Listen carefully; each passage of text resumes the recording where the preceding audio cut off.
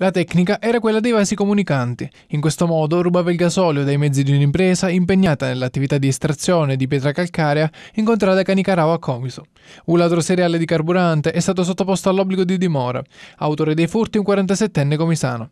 Tutto è partito lo scorso ottobre dalla denuncia del titolare dell'impresa che lamentava una serie di furti di carburante dai mezzi pesanti parcheggiati all'interno del cantiere. L'opera messa in atto dal ladro, oltre al danno del valore del carburante trafugato, provocava quella ulteriore derivante dalle ripetute interruzioni alle attività estrattive. Le indagini avviate immediatamente hanno permesso di ricostruire almeno sei episodi consumati tra la fine di settembre e la prima metà di ottobre e di individuare l'autore il quale in una circostanza è stato sorpreso da una pattuglia della Polizia di Stato all'interno della cava mentre si accingeva per perpetrare l'ennesimo furto.